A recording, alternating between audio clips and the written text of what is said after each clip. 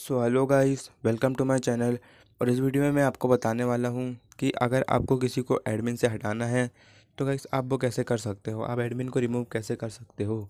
So guys इसके लिए जो है, सबसे पहले आपको अपने व्हाट्सअप को ओपन कर लेना है। ओपन करने के बाद गाइस आपको उस ग्रुप को ओपन कर लेना है जिस पर आपको जो है ग्रुप को ग्रुप एडमिन को हटाना है। तो गाइस अब आपको यहाँ प्रोफ़ाइल पर क्लिक करना है। और प्रोफ़ाइल पर क्लिक करने के बाद गाइस गाइस जैसा कि अभी आप देख सकते हो कि यहाँ पे दो एडमिन है। तो गाइस अगर मुझे इस वाले बंदे को ग्रुप एडमिन से हटाना है तो मुझे क्या करना होगा?